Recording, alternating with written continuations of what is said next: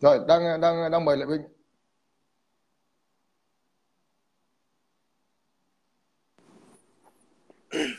Rồi xin uh, chào lại Vinh. Thì bây giờ này chào bạn. cái cái cái chủ đề ngày hôm nay ấy, mình muốn nói về cái cái cái tức là mình cũng không muốn so sánh giữa nền kinh tế của Việt Nam Cộng Hòa trước kia Yeah. tức là trước năm 1975 và cái nền kinh tế của Việt Nam bây giờ. Nhưng mình muốn nói cho một số bà con hiểu là cái nền kinh tế Việt Nam Cộng Hòa ngày xưa thì nó phụ thuộc vào cái cái cái sự viện trợ của Mỹ như thế nào và cái sự phát triển của mình hiện nay của cái đất nước Việt Nam hiện nay như thế nào. Đấy chứ không bây giờ so sánh thì nó nó một điều cực nhưng bọn chống cộng cực đoan á thì chúng nó cứ bảo là à, coi như là nền kinh tế của coi như là ờ, Việt Nam Cộng Hòa ngày xưa là lớn mạnh lắm đời sống nhân dân sung sướng lắm như thế này khác thì mình phân tích để cho một cái thế hệ trẻ người ta hiểu hoặc một số cái bà con ở nước Việt Nam người ta chưa hiểu người ta hiểu hoặc một số những bà con Việt kiều ở hiện nay sống ở bên kia lâu ngày người ta ở Mỹ người, hoặc là một số nước khác người ta không không về Việt Nam. Thì người ta hiểu cái kinh tế của Việt Nam hiện nay như thế nào. Thế thôi. Rồi xin mời mình chào anh bằng chào anh chị các bạn trong diễn đàn. Nói về ờ, chế độ ngụy Sài Gòn. Nói chung á nếu mà so sánh về ờ, vấn đề kinh tế của chế độ ngụy Sài Gòn nó hoàn toàn là mỹ dân không anh bằng ơi? Nó nếu mà nói về một cái nền kinh tế mà vững vững vàng đó thì mình phải đứng trên cái đôi chân của mình. Mình phải Đúng tự cung tự cầu và tự cấp. Mà đằng này thì chế độ ngụy Sài Gòn là hoàn toàn là do Mỹ viện trợ. Sống từ ngay cả từ cái bàn chải đánh răng từ cục xà bông từ mọi thứ hết là phải toàn là Mỹ viện trợ. Mỹ Mỹ mà cắt viện trợ cái Nguyễn Văn Thiệu ờ, ngồi khóc hù hụ hù hụ luôn. Khóc xong rồi chửi Mỹ cái nói khóc hù hụ là tới này là tôi Vâng. phân ra nha chứ không phải là thật. Sự là ông có khóc ông có tức ông chửi Mỹ Ờ, các bạn thấy một cái nền kinh tế của dưới thời mà chế độ ờ, cũ đó 80% dân miền Nam là mù chữ. Hỏi chứ cứ- phát triển cái gì? Đâu có gì đâu. Nhà nhà sàn những cái khu mà gọi là nhà sàn dọc theo bờ sông á ờ, thì người ta sống rất là vất vả. Và dân miền Nam á, những người mà ờ, nông dân cũng vậy dân mù tròn là làm là dân mù chỉ sinh ra là bắt đầu là đã mù chữ rồi lớn lên là cũng không biết chữ luôn Đó. không có được học hành gì hết thấy nó nó nói là chế chế độ ngụy Sài Gòn ngày xưa nói là giàu này chiếc xe la Đà Lạt ừ. nó nó chỉ có cái thùng thôi thì giờ dục cái máy của Pháp vô nó, cái máy ờ, cái gọi là cái máy Apolet quay là quay giống như chân vịt nó có cái cần cái quay quay quay quay cái máy mà máy đời đầu á quay ờ, rồi nó mới chạy. Có gì đâu nó thì bây giờ nếu mà nói như vậy thì giống như Việt Nam mình cũng có những cái ờ, xe cộ ờ, như của Trường Hải đồ ờ, như là Vina Suzu gì đó người ta cũng lắp ráp y vậy thôi cũng mà làm ở Việt Nam. Mà người ta còn mạnh hơn ng- ngày xưa nữa.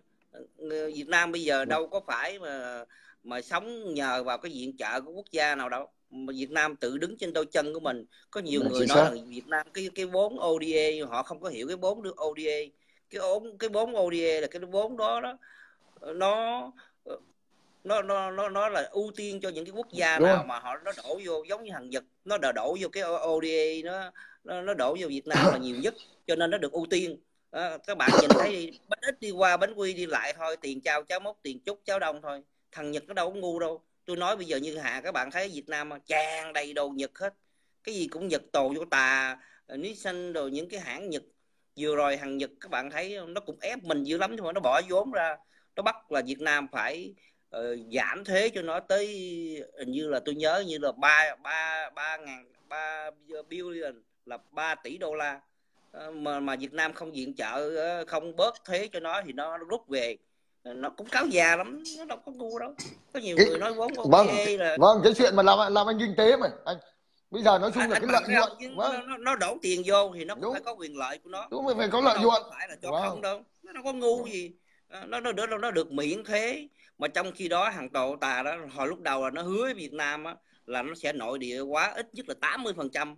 Mà tới nay là cả ừ, hai gần 20 năm rồi mà nó có nội địa hóa đâu mà nó còn dọa mình nó đòi rút ờ, công ty nó về nữa. Vâng chính xác. Tụi nó đâu có ngu. Mấy thằng tư bản nó đâu có ngu đâu. Có nhiều người Vâng, người anh nói ơi. là cái anh anh đợi bên ấy tôi mở cửa sáu đi. Dạ dạ. Nhiều người nói rằng ờ, cái vốn ODA là mình phải ờ, giống như mình nợ nần cái cái đó. Cái đó là tụi tụi nó nó vô Việt Nam nó xây dựng với mục đích của nó. Ngay cả hạ tầng cơ sở vậy nữa. Nó bỏ ra đó là để nó có cái quyền lợi của nó hết nó có cái ưu tiên của nó hết. Các bạn thấy ngay cả những hãng xe của thằng Mỹ nó vào Việt Nam vậy nó nó nói chung là tụi nó nó bỏ tiền ra thì nó phải có quyền lợi của nó. Không ai dạy gì mà bỏ tiền ra, ra mà không có cái quyền lợi của người ta cả. Cái chế độ của Ngụy Sài Gòn năm xưa hoàn toàn là lệ thuộc Mỹ chẳng có gì hết. Cả cái miền Nam uh, sống thì bị uh, người người qua cô lập uh, họ tới nỗi mà ông Nguyễn Cao Kỳ ông ông phải xuống ông phải xuống mà mà dằn ship cái vụ mà người qua mà họ họ đầu cơ tích trữ cái ờ, thị, thị, thị trường ở miền Nam. Ờ, chứ đâu phải là là là, là như một số những người nói ở uh, chế độ ngụy Sài Gòn ngày xưa giàu có trong khi đó ngày hôm nay cái đất nước Việt Nam đổi mới phát triển mà tới nỗi những kinh tế gia của Mỹ nó cũng phải lên tiếng rằng uh, Việt Nam sẽ làm con hổ mới của vùng châu Á cái cái những cái kinh tế gia của nước ngoài người ta đã khẳng định được vậy. Còn ở cái miền Nam ngày xưa, dưới cái chế độ ngụy Sài Gòn, toàn là ăn viện trợ không? Không có Mỹ, bỏ tiền tới nỗi mà Mỹ nó viện trợ riết rồi nó chịu không nổi luôn. Nó chịu không nổi tới nỗi mà ông ông ờ, ngoại trưởng Mỹ Kissinger còn phải bực tức mà ông ông khinh bỉ mà ông chửi cái chế độ ngụy Sài Gòn, nó nói hơi quá đáng, chửi còn thua con chó nữa. Rất là nhục nhã. Các bạn xem hồi ký của ông Kissinger nó rất là đau lòng đến độ như vậy. Một cái cái sự thối nát nó đến kinh hồn luôn. Đời sống của người dân ngày xưa họ với xích lô uh, xe uh, chạy xích lô rồi đi bán báo rồi là phải sống. Nói chung là những cái khu nhà ổ chuột ngày xưa hơi bị nhiều luôn.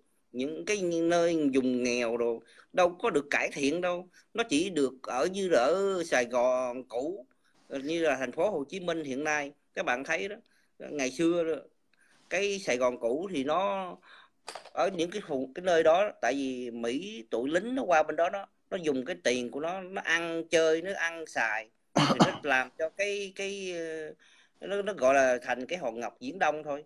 Chứ cái hòn ngọc diễn đông nó cái nơi trị lạc của tụi Mỹ cái nơi trị lạc của lính Mỹ nó qua đó nó ăn chơi nó đâu có làm nó, nó tung đồng tiền ra rồi đồng tiền nó nó xoay vòng vòng vòng vòng vậy thôi yeah. Dạ.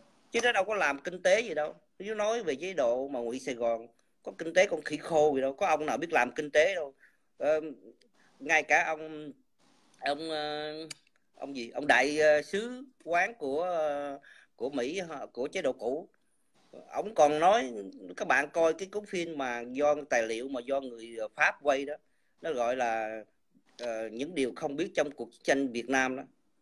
Rất là rất là đau lòng luôn. Ông nói tới nỗi mà nghe thấy mà nhục luôn.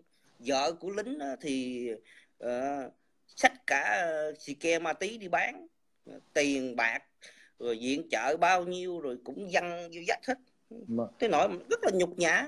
Cái ông mà đại sứ quán ông Thomas Martin đó, cái ông ông ông ông ông ông nói trong cái các bạn thấy coi cái bộ phim tài liệu của người người Pháp quay về cái cái cuộc chiến Việt Nam mà gọi là uh, những điều không biết trong cuộc chiến Việt Nam rất là hay.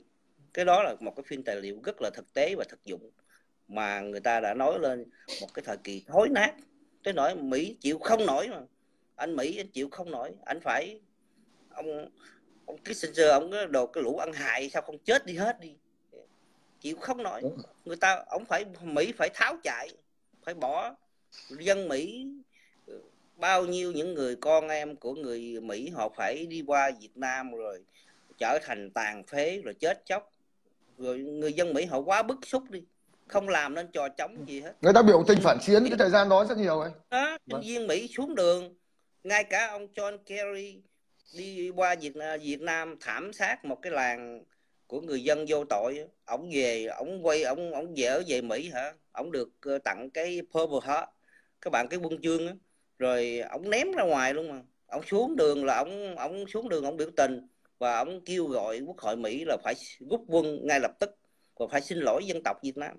Cho nên các bạn thấy sau này ổng là người vận động uh, trong cái phong trào gọi là là là là bỏ cấm vận Việt Nam. Đúng rồi để đặng mà gọi là hai quốc gia trở lại bình thường. Ông thấy được những cái mất mát của dân tộc Việt Nam. Ổng và ông John Kerry là hai người nhìn thấy được người Mỹ họ đã làm sai lầm về cái cuộc chiến Việt Nam. Cần phải rút quân. Và ổng là người các bạn biết các bạn vào đánh John Kerry yeah. Dạ. các bạn sẽ thấy ổng khóc uh, trước quốc hội Mỹ mà. Ổng tường trình mà uh, tới nỗi quốc hội Mỹ phải kêu ổng là xa đập là kêu ổng câm cái mồm lại vâng anh anh anh, anh lại bên này hình như bây giờ có cái cái, cái chỗ cuốn hồi ký của ông Nguyễn Tiến Hưng ấy là ông tổng trưởng kinh tế của chính quyền huyện Sài Gòn. Hiện nay hình như ông Nguyễn Tiến Hưng vẫn còn sống bên, bên Mỹ. Thì các bạn tìm à. đọc cái cuốn vâng cái cuốn đấy thì các bạn sẽ hiểu rõ về những cái chế độ có cái Việt Nam Cộng Hòa ngày xưa nó là như thế nào. Người của Việt Nam Cộng Hòa người ta là tổng trưởng về kinh tế người ta viết ra cái cuốn đó thì đó là sự sự thật về cái vấn đề kinh tế của Việt Nam Cộng Hòa. Vâng đấy thì các bạn muốn tìm hiểu thì các bạn sẽ tìm đọc cái cuốn hồi ký của ông Nguyễn Tiến Hưng. Rồi xin mời một, một cái nền kinh tế nói chung mà nó không vâng. quèo à. Toàn là sống vào viện trợ không? Sống vào ờ, tất cả nói chung mọi thứ hết. Như tôi nói từ cái bằng chải đánh răng cái mọi cái thứ gì cũng phải là viện trợ của Mỹ. Mỹ nó chịu không nổi nó phải nó phải bỏ chạy thôi. Nó Mỹ nói chung là cái cuộc chiến Việt Nam thằng Mỹ nó sai lầm. Nó nó nó nó nghĩ rằng khi nó dựng lên một cái chế độ mà Mỹ Sài Gòn nó nghĩ rằng sẽ sẽ giống như Nam Hàn vậy. Nhưng mà cuối cùng nó nó gọi là underestimate. Khi nó vào thì nó nó sai lầm nó bị xa lầy. Cuối cùng xa lầy thì nó phải kiếm cách nó rút. Nó bắn bây, nó, nó, bây, bây, nó bây giờ tôi xin lỗi anh lợi minh 50 giây thôi. Trả lời cái bạn phong nguyễn này tức là bạn nói ông lợi minh phải so sánh giữa hai chế độ trong thời kỳ chiến tranh giữa miền bắc và miền nam. Tôi nói các bạn này, ngày xưa ở ngoài bắc ấy, dân miền bắc không bao giờ nói về vấn đề kinh tế cả. Vì ngày xưa tôi sống ở cái thời kỳ ờ, thời kỳ mà chiến tranh thì tôi biết cuộc sống cực kỳ khổ sở. Chúng tôi không bao giờ so sánh nền kinh tế ngoài bắc ngày xưa, cái thời gian thời gian gần đấy nhá. Thì nói với các bạn, nói câu không có gì thì nó cũng không đúng. Thì cũng có một số nhà máy cơ khí trần đạo hoặc là sản xuất mấy cái quạt tay voi các thứ nhưng mà chúng tôi không bao giờ tôi nói là tất ngày xưa ngoài bắc tất cả cho tiền tuyến. Nhớ dân miền bắc nhịn ăn nhịn uống tất cả các thứ ăn nói mà khác có gì tống vào bụng cho nó có cái dạ dày nó co bóp là được. Những người dân ngày xưa người ta không bao giờ người ta so sánh cái cuộc sống ngoài bắc và cuộc sống ở bên trong này như thế nào. Cho nên ở đây vì là các bọn chống cộng cực đoan đấy hoặc cái bọn dân chủ quậy trong nước nó cứ bảo là a à, cái cuộc sống hoặc cái nền kinh tế ngày xưa của Việt Nam Cộng Hòa phát triển mạnh mẽ lắm sung sướng lắm thì chúng tôi mới nói ra cái điều này chứ còn ở miền Bắc tôi miền Bắc ngày xưa thì có như Trung Quốc Liên Xô người ta nghèo người ta viện trợ về cái mấy cái bo bo hoặc là mấy cái vớ vẩn tất cả các thứ thì nói chung là thì nó rất là ít tôi sống trong chế độ đấy ở cái hồi thời gian đấy tôi biết cho nên là ở đây chúng tôi không có cái sự so sánh giữa ngoài Bắc và và và trong Nam nhé rồi xin mời Lê nếu mà so sánh wow. cái thời chiến tranh đó wow. khỏi chứ cái thời đó chiến tranh loạn wow. lạc thì làm sao mà mà ngoài miền Bắc người ta có thể xây dựng được nói không mà không, Mỹ nó tối ngày nó sách bay ra hỏi anh nó nện nó nện 12 ngày đêm là bánh wow. chành hết trơn hết trời nó nện không còn chỗ nào hết ờ, B52 mà nó nện 12 ngày đêm hỏi anh chứ đất nào mà còn nữa đó. mà mà bà bảo rằng là so yeah. Dạ trong khi đó người miền Bắc người ta vẫn có thể vẫn đứng trên đôi chân vừa vừa vừa đánh giặc vừa bảo vệ bờ quê hương wow. Vâng. vừa phải uh, xây dựng uh, vừa phải làm đủ mọi thứ hết còn ngay cả nói về Trung Quốc viện trợ hay là Nga viện trợ họ viện trợ cũng nhỏ giọt thôi họ viện trợ vừa đủ để mình mà là có vũ khí mà mình có thể ừ. tấn công và mình đánh mà mình bảo vệ thôi ngay cả Trung Quốc có viện trợ nó cũng đâu đất nước đất, đất nước Trung Quốc với Liên Xô thời gian đấy tôi nói thật các anh là cũng nghèo. Có viện trợ cũng dè dặt. Vâng nó nghèo thì nghèo nó người ta cũng viện trợ cho mình một phần nào đó ừ. thôi. Vâng. Nó không không phải đâu ngay cả lúc đó mình nó nó viện trợ cho mình về vấn đề để đặng mà mình cầm hơi đặng mình mình đánh vâng, đúng rồi. mình đánh giặc. Nói đúng là mình đánh giặc hơn bảo vệ tổ quốc thôi chứ đâu phải nó viện trợ cho mình ăn sung mặc sướng giống như ở trong ờ, miền Nam đâu. Mỹ nó viện dạ. trợ tới nỗi mà mấy ông mà lính ờ, chế độ cũ hả? Gọi là ngày xưa gớt tú tài mà anh đi trung sĩ à, một người mà đi được chung vô lính rồi thôi wow. nuôi cả dòng họ luôn. Nuôi cả dòng họ luôn. Thôi tôi còn nhớ tôi còn nhớ ở xóm tôi cái ông đó ông đi lính thôi ô nhà cửa đất đai của ông quá chừng vợ thì hai ba bà con của lính thì ờ, đi toàn là xe jeep có vâng. người đưa người đón sống nhưng sung sướng tôi nói với tôi hỏi lại anh lợi minh như này cái thời gian đó đi lính cho cho cho tức là làm tay sai cho Mỹ tôi đi lính ngụy thì rất là sung sướng nhưng mà tôi thấy ở đây ấy, rất nhiều người người ta trốn lính ở trong cái đất Việt Nam này mình ấy người ta tăng tuổi để trốn lính giảm tuổi để trốn lính các kiểu trên đời thì mình cũng phải giải thích cái nguyên nhân đó đúng không? Dạ. Yeah. Thời cái anh chống lính mà nó nó nó lùng, nó bắt. Tôi nhớ là gia đình tôi ờ, ba tôi cũng phải ờ, đổi đổi tuổi lại mấy ông anh tôi để đặng không có đi lính phải trốn. Cho nên ở cái thời mà của chế độ cũ, nói chung là không so sánh với người Bắc, cái thời đó thì nó một trời một vực, nó hoàn toàn khác nhau. Người người ờ, người cộng sản cũng vậy. Người ta đi đi làm cách mạng, chỉ đôi dép râu Ờ, rồi cái áo rồi người ta phát trên vai cái khẩu súng để đặng mà đi bảo vệ quê hương tổ quốc thôi. Theo sứ mệnh uh, của quê hương. Còn cái chùa miền Nam nói chung là hoàn toàn sống lệ thuộc vào đồng tiền viện trợ của Mỹ. Không không có Mỹ hãy còn Mỹ thì còn Ngụy Sài Gòn mà Mỹ Mỹ mà chạy rồi Ngụy Sài Gòn lao ra ngoài hạm đội 7 lao lao lao ra ngoài biển Đông làm mồi cho cá mập rồi xong rồi bây giờ đất nước phát triển đổi mới rồi rồi, rồi leo lên đây chống rồi bảo là tại cộng sản ác cái thế này thế nọ. Tôi thấy những người mà mà gọi là là là là tìm đủ mọi cách để đặng hô hào bảo vệ cái chế độ ngụy Sài Gòn hoàn toàn nó cái sự gọi là biệt bợm nó là rất là biệt bợm xảo trá. Nó không có gì để nói một cái miền Nam 80 phần trăm dân mù chữ thì nói ra cái cái chuyện đó thôi là thấy cũng đủ biết cái ờ, chính quyền ờ, ờ, ngụy Sài Gòn năm xưa đối với cái miền Nam như thế nào rồi? 80 một cái quốc, đất nước 80 phần trăm mù chữ. Nói nói là cái thời mà còn so ở miền Bắc. Tôi nhớ là ở miền Bắc là cái thời Bắc Hồ là giờ người người người cộng sản đã chế được xe hơi rồi.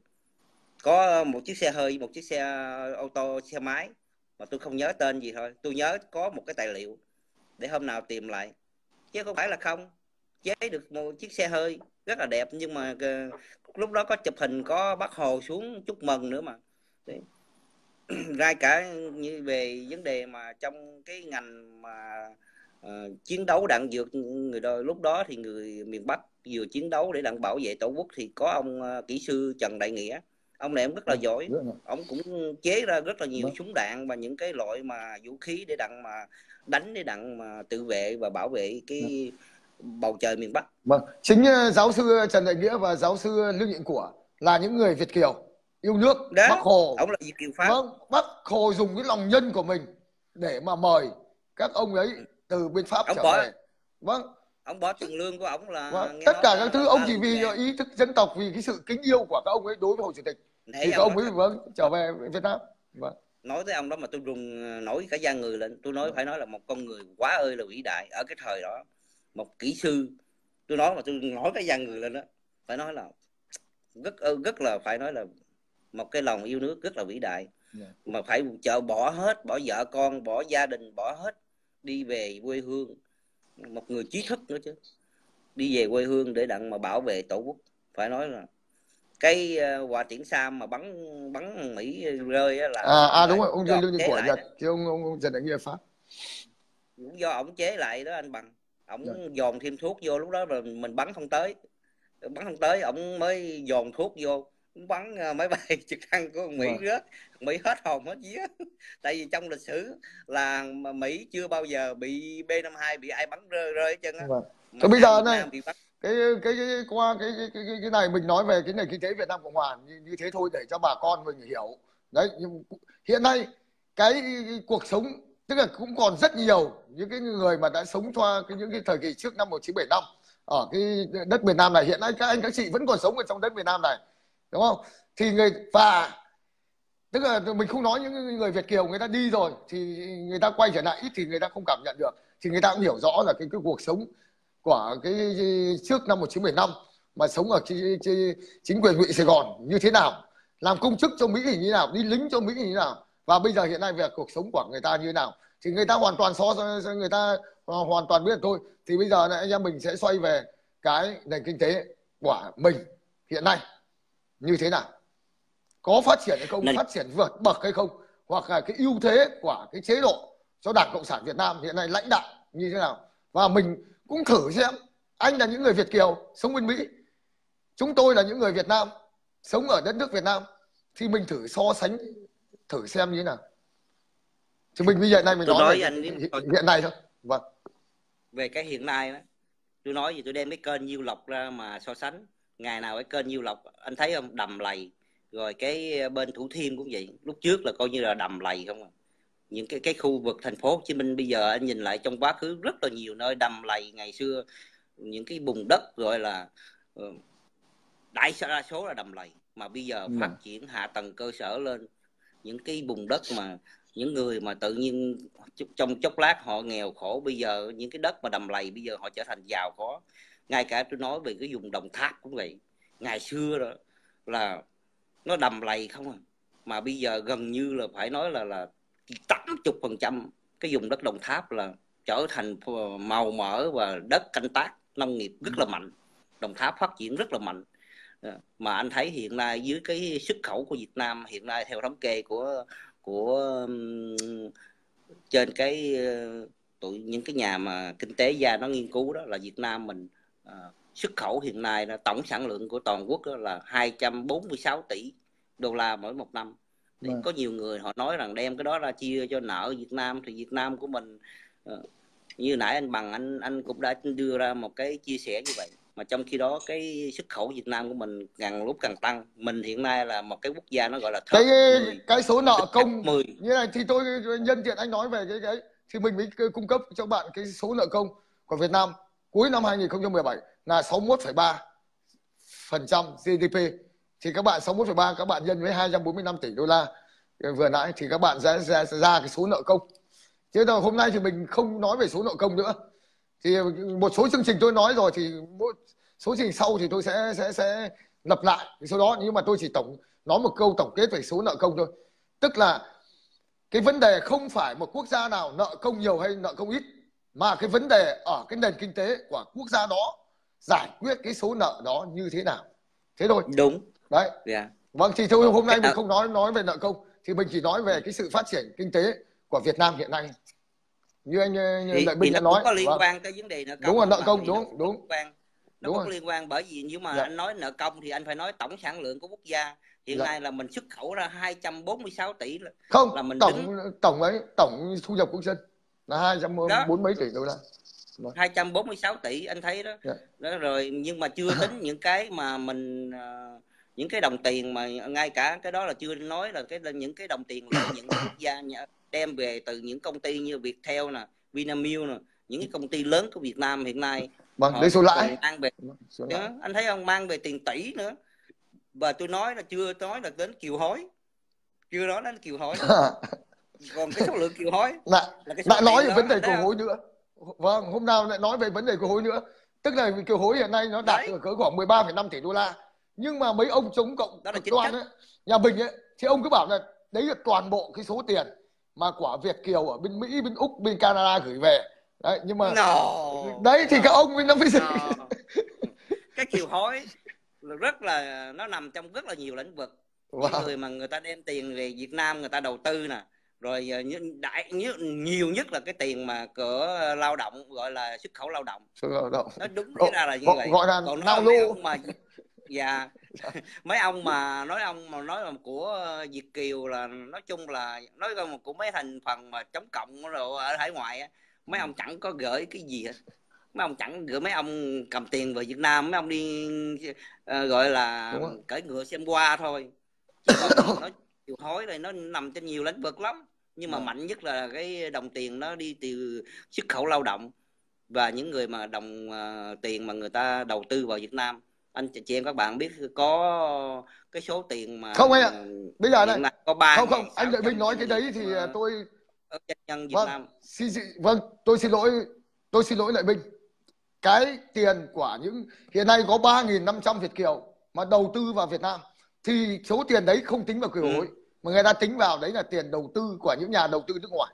Nó không tính kiều hối kiều hối nó chỉ còn có ba khoản thôi. Thứ nhất là của những người Việt kiều người ta gửi về cho thân nhân. Đấy. Dạ. Thứ hai là cái số tiền của những gọi là nao lô mình nói theo cái bọn bọn chống cộng đoan nao lô Việt Nam đi lao động xuất khẩu nước ngoài gửi về. Vấn đề thứ ba nữa có khả năng có lợi minh không? Lợi minh hai quốc tịch Việt Nam và Mỹ thì không có. Nhưng mà vấn đề thứ ba nữa là cái tiền của những Việt kiều người ta về người ta mua nhà đất nhà thôi. Ví dụ chung cư. Đấy người ta mua chung cư chứ không được mua mua mua mua nhà có, có, có kèm đất không có thì nó là ba cái nguồn đấy. Đấy. Nhưng mà từ ba nguồn đấy thì cộng lại một năm hiện nay năm 2017 đạt 13,5 tỷ đô la. Nhưng mà mấy ông Việt mấy ông mà chống cộng cực đoan ông nghĩ là à mỗi năm người Việt số Việt kiều gửi về cho 13,5 tỷ đô la các ông nhân với bao nhiêu năm? Anh hiểu không? Thì tổng cộng là dạ. ông gửi về coi như tổng cộng mấy trăm tỷ đô la rồi cho Việt Nam phát triển là nhờ có mấy trăm tỷ đô la các ông ấy gửi về đấy thì tôi mới phân tích cho các bạn là nó có ba cái khoản đấy thôi thì nó nó gọi là kiều hối cho cái mấy ông dạ. chống chống cộng cực đoan phần nhỏ thôi nói vâng. chung là một cái vâng. tổng sản lượng của mình tới 246 tỷ mà trong khi đó cái lượng kiều hối mười mấy tỷ thì nó cũng một phần thôi thì vâng một phần đi làm... nhưng mà cũng quan trọng ạ vâng cũng quan trọng dạ, người người vâng, những người Việt mình họ đi nước ra qua Mỹ khi họ đi lao động rồi những cái người mà họ gửi về cho thân nhân và họ vâng. đầu họ gửi về họ đầu như anh bằng nói họ mua những cái đồng tiền mà những người của kiều bào chung cư ấy. gửi về dạ, họ mua nhà cửa hay là họ làm gì ở Việt Nam Đấy, vâng. cái đó là những cái kiều hối gì à kiều hối. thì nói Đấy. Dạ. chung á cái ờ, nền kinh tế Việt Nam hiện nay phát triển phải nói là rất là mạnh rất là mạnh. Ngay cả tụi kinh tế gia Mỹ mà nó còn phải khâm phục mà. Ờ, bây giờ các này, bạn biết cho nên cái bạn mà... vâng cái Hoàng Trần thì chúng tôi không biết cái gì cả. Bây giờ Việt Nam bây giờ đi so với Singapore một Singapore đất nước có 5 triệu dân người ta có cái, cái, cái, eo biển Malacca từ Ấn Độ Dương qua qua Thái Bình Dương. Chưa? bây giờ tôi chỉ nói bây giờ nhá chỉ cần Trung Quốc người ta đầu tư ở cái chỗ vùng Thái Lan cái vùng hẹp hẹp nó làm một cái kênh đào ở đấy. Thằng Singapore siết hẳn nói Đúng bạn cho nên là nhiều cái nó nói đùa nói với mấy thằng chống cộng cực đoan được nói với mấy thằng dâm chủ quậy chúng nó ngu si đần đội rốt nát nhiều khi cũng bực cả mình nhưng mà nói, nhìn vào thì nước mắt vâng dạ. như, như, như bằng nói thì như nếu mà Trung Quốc nó nó nuốt cái biển Đông đi thì thằng à, ừ. Singapore coi như là ngồi đó ăn cháo thôi dạ. tại vì nó chặn lại cái tiếng hàng hải đó dạ. mà anh anh Singapore ảnh là một cái quốc gia một cái bến cảng một tiếng hàng hải thôi anh anh sống anh nhờ vậy thôi chẳng chẳng có gì. À, tài nguyên của anh cũng không có. Anh chỉ nhờ được cái eo biển của anh người ta vâng nhờ vào cái eo biển. Malacca dạ. thôi. Anh chỉ nhờ vậy thôi. vâng. anh may mắn anh nhờ anh tận dụng được cái đó. Chứ nói tới đâu rồi? Nói vâng. về nền kinh tế Việt Nam. Thì cái thì tốt chung mà tôi thấy là nền kinh tế Việt Nam phải nói là phát triển rất là tốt với sự là lãnh đạo của đảng và nhà nước phải nói là với niềm tin chiến vâng. lược mà đã đẩy mạnh được ngoại giao được phải nói là Việt Nam mình ngoại giao hiện nay theo tôi biết là 200 quốc gia rồi đấy và mình đã Bạn, uh... cái cộng đồng thế giới họ chú ý rất là nhiều yeah. Dạ. uh, về cái uh, tiềm năng của Việt Nam các bạn thấy những ai mà đi rời khỏi quê hương chừng vài ba tháng là quay trở lại Việt Nam đã thấy khác rồi tôi đi nhiều khi mới có 4 năm tháng quay trở về tôi thấy những con đường uh, lộ mà tôi đi về tìm uh, nhà của má tôi mấy ông anh đồ vậy. Nó hỏi nói ủa hổm em vô nhà anh nó có cây dừa ở đây sao nó mất tiêu? Chạy hoài không vô cứ phải gọi điện thoại cho ông nó nói nhà anh ở chỗ nào sao giờ nó mất tiêu rồi? Ông nói tại vì cái cây dừa nó đốn rồi tại vì phát triển lên đường xá nó nâng cấp lên. Vâng. cho nên cái lúc nào Tức là, thay... vâng tôi nói anh nhận Vinh Việt Nam tôi thấy thỉnh thoảng đọc có một những cái tin vui. Ví dụ cái tòa nhà Lampard 81 anh hiểu không? Là một trong 10 tòa nhà cao nhất thế giới hiện nay. Đấy. Còn vừa rồi, các bạn mới ngày hôm qua hôm kia khánh thành một cái cầu, gọi là cây cầu bạch đằng. Là một cái cầu dây văng. Ba trong bảy cây cầu hiện nay có cái nhịp. Cái cầu dây văng nhé có nhịp nhiều nhất trên thế giới hiện nay. Đấy, tôi nói, tất cả nhé đều do những công nhân và các kỹ sư Việt Nam thi công ở bên cái tòa nhà Lampard 81 cũng thế, toàn bộ thiết kế là hình như thiết kế của thằng Đức. Nhưng mà thi công là toàn bộ kỹ sư và công nhân Việt Nam thi công tòa nhà Lampard 81 và những cầu dây văng hiện nay, tất cả các cầu dây văng hiện đại ở Việt Nam đều do có cán bộ, công nhân, kỹ sư Việt Nam thiết kế và thi công. Đấy, vừa rồi mới hôm qua hôm kia khánh thành một cái cầu cây cầu bạch bạch đằng. Đó là một cái tự hào, đúng không? Của cái đất nước mình. Mình là người dân thì cứ, cứ Việt Nam có một cái gì đấy nó nọt vào top nọ kia tất cả các thứ thì mình là người dân Việt Nam mình rất đáng tự hào về cái sự phát triển về vấn đề kinh tế và những cái gọi là cái thành tựu mà những người dân mà những khối óc Việt Nam đạt được. Anh ạ tôi là người Việt Nam tôi tự hào lắm. Mà anh là người Việt Nam thì anh rất tự hào. Vâng xin mời tôi rất là tự hào anh mỗi lần mà về tới quê hương tôi phải nói là rất là tự hào mỗi khi mà bước ra tới, tới phi trường Tân Sơn Nhất mà bước ra khỏi cổng phi trường Tân Nhất tôi thấy vô cùng tự hào. Ngay cả cái phi trường Tân Sơn Nhất những cái năm tháng đầu cũng vậy nó còn rất là sơ sài nhưng bây giờ phải nói là rất là hiện đại. À, được mở rộng và được ngày được ngày càng hiện đại nhiều hơn. Nói về phát triển của Việt Nam hiện nay phải nói là nó không ngừng.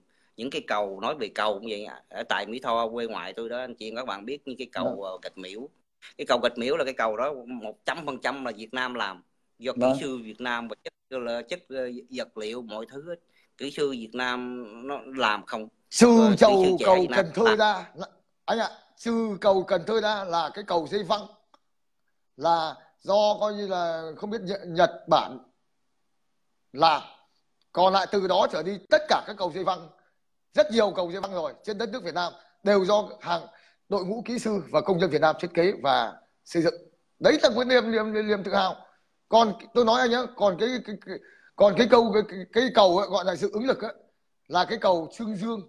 Thì mình do toàn bộ Việt Nam làm từ những năm 80 thuộc thập kỷ 80 thuộc thế kỷ trước cái cầu Trương Dương.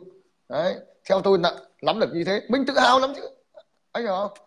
Vâng. Rất là tự hào anh bằng. Dạ. nói chung là về Việt Nam tôi thấy cái sự phát triển rất rất là mạnh chứ không phải giống như là sự tiên truyền của những thành phần mà chống phá đất nước. Rồi bây giờ này đông tà gì lão tỉnh với bạn xin lên cũng lâu rồi thôi bạn cứ chờ đấy rồi, rồi cuối cùng tôi sẽ cho bạn ưu tiên ok bạn cho người đó lên đi bằng.